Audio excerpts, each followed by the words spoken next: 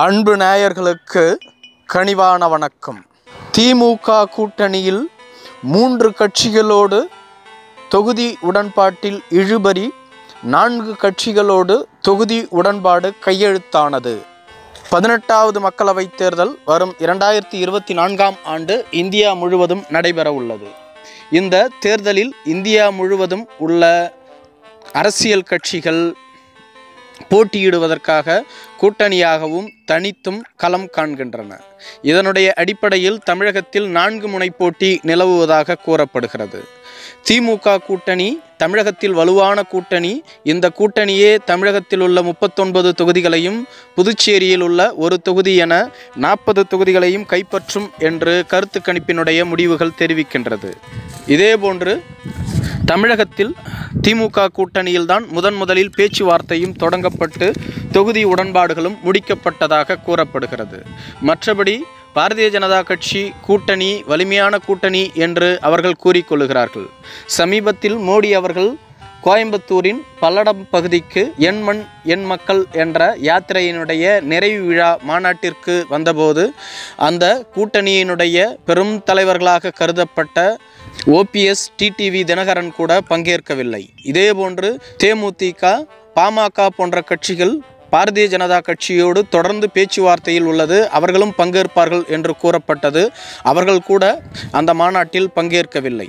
இதேபோன்று அதிமுகவில் இன்றளவும் பேச்சுவார்த்தை தொடர்ந்து கொண்டுதான் உள்ளது. அவர்களினுடைய கூட்டணி நிலை பற்றி இன்று வரையிலும் இறுதியாக தெரிவிக்கவில்லை.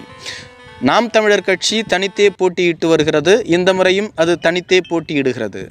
திமுக கூட்டணியில் காங்கிரஸ் கட்சி இந்திய கம்யூனிஸ்ட் கட்சி மார்க்சிஸ்ட் கம்யூனிஸ்ட் கட்சி மதிமுக விடுதலை சிறுத்தைகள் இந்திய யூனியன் முஸ்லீம் லீக் கட்சி கொங்கு நாடு மக்கள் தேசிய கட்சி மனிதநேய மக்கள் கட்சி தமிழக வாழ்வுரிமை கட்சிகள் இடம்பெற்றுள்ளன.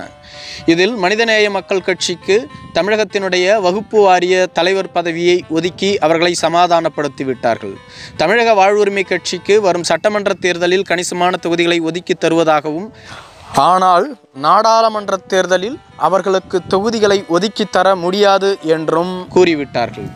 இதேபோன்று கமலஹாசனினுடைய மக்கள் நீதி மைய கட்சியும் திமுகவோடு கூட்டணி அமைத்து கோவை தொகுதியில் போட்டியிடும் என்று கூறப்படுகிறது. இது போக பெரும் கட்சிகளாக கருதப்படக்கூடிய காங்கிரஸ் கட்சி மதிமுக விடுதலை சிறுத்தைகள் கட்சி போன்ற கட்சிகளோடு இன்று வரையிலும் தொகுதி பேச்சுவார்த்தையானது தொடர்ந்து இழுபறியிலேயே இருந்து வருகிறது.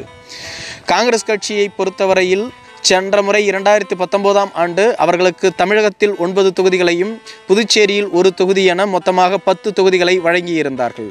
இந்த முறை காங்கிரஸ் கட்சிக்கு தமிழகத்தில் ஏழு தொகுதிகளையும் புதுச்சேரியில் ஒரு தொகுதி என எட்டு தொகுதிகளை மட்டுமே வழங்க முடியும் என்று திமுக தலைமை கண்டிப்புடன் கூறிவிட்டது. அதே சமயத்தில் காங்கிரஸ் கட்சியினுடைய புதிய தலைவராக பொறுப்பேற்ற திரு செல்வ பெருந்தகை அவர்கள் மீண்டும் திமுகவுடனான கூட்டணியில் தொகுதி பங்கீட்டில் எங்களுக்கு பத்திலிருந்து பன்னெண்டு தொகுதிகள் வரை வேண்டும் என்று தொடர்ந்து விடாப்பிடியாக கேட்டு வருகிறார்கள். இது தொடர்ந்து இழுபறியில் இருந்து வருகிறது. இதேபோன்று விடுதலை சிறுத்தைகள் கட்சி இரண்டு தனி தொகுதிகளையும் இரண்டு பொது தொகுதிகள் என மொத்தமாக நான்கு தொகுதிகளை கேட்டு வருகிறது. திமுக தரப்பில் இரண்டு தனி தொகுதிகளையும் ஒரு பொது தொகுதியையும் ஒதுக்கி தர தயாராக உள்ளதாகவும் கூறப்பட்டுள்ளது.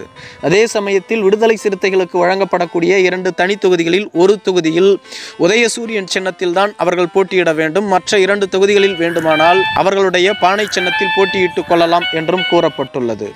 எனவே விடுதலை சிறுத்தைகளுடனான தொகுதி உடன்பாட்டிலும் திமுக கூட்டணியில் இழுபறி நீடித்து வருகிறது. இதற்கு அடுத்ததாக மதிமுக மதிமுகவிற்கு இரண்டாயிரத்தி பத்தொன்பதாம் ஆண்டு ஈரோடு என்ற ஒரு மக்களவை தொகுதி மட்டுமே ஒதுக்கப்பட்டிருந்தது. இந்த முறை மதிமுகவானது இரண்டு மக்களவை தொகுதிகளையும் ஒரு மாநிலங்கள் அவை தொகுதியையும் கேட்டு வருகிறது. திமுகவோ மதிமுகவிற்கு ஒரே ஒரு மக்களவை தொகுதியை மட்டுமே ஒதுக்க முன்வந்துள்ளது எனவே மதிமுகவுடனான தொகுதி பேச்சுவார்த்தையானது தொடர்ந்து இழுபறியில் இருந்து வருகிறது. திமுக கூட்டணியில் மிகப்பெரிய கட்சிகளாக கூறப்படக்கூடிய இந்த மூன்று கட்சிகளுடனும் இன்றளவும் தொகுதி உடன்பாடானது இறுதி செய்யப்படவில்லை. மார்ச் ஒன்றாம் தேதி தமிழக முதல்வரான திரு மு க ஸ்டாலினின் பிறந்தநாள் அன்று இந்த கட்சிகளுடனான தொகுதி உடன்பாடானது இறுதி செய்யப்பட்டுவிடும் என்று கூறப்பட்டது. அதே சமயத்தில் இன்றளவும் அறிவாலயத்தில் இது பற்றிய பேச்சுவார்த்தையானது தொடர்ந்து கொண்டிருக்கிறது. இன்று வரையிலும் இறுதி செய்யப்படாமலும் இருந்து வருகிறது. விடுதலை சிறுத்தைகள் கட்சி மூன்று தொகுதிகளை பெற்றுக்கொள்ளும் என்று கூறப்படுகிறது. அதே சமயத்தில் மூன்று தொகுதிகளிலும் தங்கள் சின்னமான பானை சின்னத்திலேயே போட்டியிடுவோம் என்று அவர்கள் தொடர்ந்து கூறி வருகிறார்கள். இதேபோன்று மதிமுகவும் இரண்டு தொகுதிகளை கேட்டு வருகிறது. அந்த இரண்டு தொகுதிகளிலும் தங்களது சின்னமான பம்பரம் சின்னத்தில் தான் போட்டியிடுவோம் என்று அவர்கள் கூறி வருகிறார்கள். ஆனால் திமுக தலைமையோ மதிமுகவிற்கு வழங்கக்கூடிய ஒரு தொகுதியிலும் உதயசூரியன் சின்னத்தில் தான் போட்டியிட வேண்டும் என்று கூறி வருகிறார்கள். இதேபோன்று கொங்கு நாடு தேசிய மக்கள் கட்சிக்கும் ஒரு தொகுதி ஒதுக்கப்பட்டுள்ளது.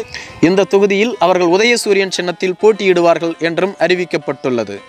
தமிழகத்திலேயே முதன் முதலில் கூட்டணியை உருவாக்கி கூட்டணி கட்சிகளுடனான தொகுதி உடன்பாடு உடன்பாட்டு பேச்சுவார்த்தையை தொடங்கிய திமுக இன்று வரையிலும் அதை நிறைவு செய்யாமல் தொடர்ந்து கொண்டிருக்கிறது. தமிழகத்தில் மிக விரைவாக தொகுதி உடன்பாட்டை முடித்துவிட்டு பிரச்சார பணிகளில் ஈடுபட இந்த கூட்டணி கட்சிகளானது முடிவு செய்துள்ளதாக கூறப்படுகிறது. எனவேதான் அனைத்து கட்சிகளுக்கும் முன்பாக திமுக கூட்டணியில் தொகுதி உடன்பாட்டு பேச்சுவார்த்தையானது தொடங்கப்பட்டது.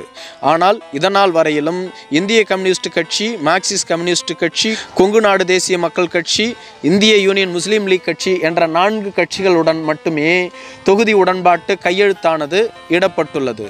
இந்திய யூனியன் முஸ்லீம் லீக் கட்சிக்கு ராமநாதபுரம் என்ற ஒரு தொகுதியையும் கொங்கு நாடு மக்கள் தேசிய கட்சிக்கு நாமக்கல் என்ற ஒரு தொகுதியையும் திமுக வழங்கியுள்ளது. அதேபோன்று இந்திய கம்யூனிஸ்ட் கட்சி மற்றும் மார்க்சிஸ்ட் கம்யூனிஸ்ட் கட்சி என்ற இரண்டு கட்சிகளுக்கும் தலா இரண்டு தொகுதிகளை திமுக தலைமையானது ஒதுக்கி கொடுத்துள்ளது. மற்றபடி காங்கிரஸ் கட்சி மதிமுக விடுதலை சிறுத்தைகள் என்ற மூன்று கட்சிகளுடனான தொகுதி உடன்பாடானது இன்று வரையிலும் நிறைவு பெறாமல் இழுபறியிலேயே இருந்து வருகிறது. இந்த மூன்று கட்சிகளுடனான தொகுதி உடன்பாடு மிக விரைவில் முடிவடையும். கூட்டணி கட்சிகளோடு சுமூகமான பேச்சுவார்த்தையில் ஈடுபட்டுள்ளதாக திமுக தலைமையானது கூறி வருகிறது. இந்த மூன்று கட்சி தலைவர்களும் கூட திமுகவுடன் தொடர்ந்து பேச்சுவார்த்தையில் ஈடுபட்டு வருகிறார்கள்.